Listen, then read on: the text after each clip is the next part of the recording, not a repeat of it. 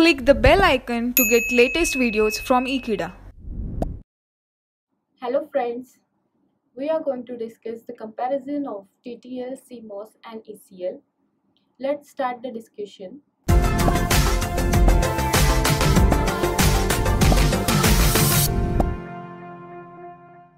So friends, we have the technologies that is TTL, CMOS and ECL.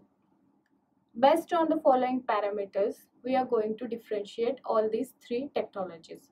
So we will start with the first parameter that is the components used while designing these three technologies. So the first part is of TTL. So components used while designing the TTL, the most important one is what transistors. In CMOS, it is MOSFETs. That is metal oxide semiconductor field effect transistors and ECL ECL is a technologies in that we will use transistors and resistors.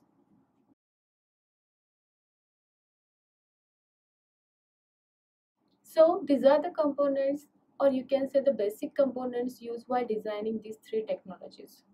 The next parameter is of what fan out. So fan out for TTL it is moderate. You can say for CMOS it is highest and for ECL it is high. So this parameter fan out defines the number of outputs connected while getting the appropriate output. The next parameter is of noise margin. Now if you see the TTL technology, the noise margin is moderate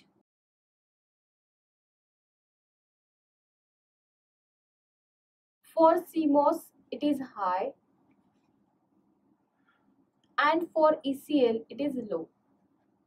So this defines the noise margin parameter for all these three technologies. Now we will discuss the power dissipation per gate. We know that while designing the ICs, number of gates are used. So power is the important factor connected to the each gate. So we will discuss this parameter for each technology. So power dissipation per gate in TTL it is 10 milliwatts. For CMOS it is 0.1 milliwatts and for ECL it is 40 to 50 milliwatts. This is the value for each technologies while considering the power dissipation factor. It is with respect to what per gate, designing per gate. Now the circuit complexity is the next factor while differentiating the TTL, CMOS and ECL. So if you consider the circuit complexity, so for TTL it is complex, CMOS is moderately complex and ECL is again complex. And the next parameter we are going to focus is what? Basic gates. So with the use of TTL, you can design the NAND gate. With the use of CMOS, you can design NAND or NOR gates.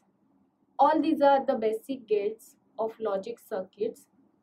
With the use of all these technologies, you can design the circuit as per your application.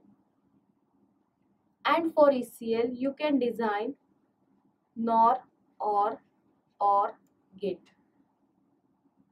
So, with the use of all these parameters, you can differentiate TTL technology, CMOS technology and ECL technology. This is all about the comparison for all these technologies. Thank you for watching this video. Stay tuned with Ekeeda and subscribe to Ekeeda.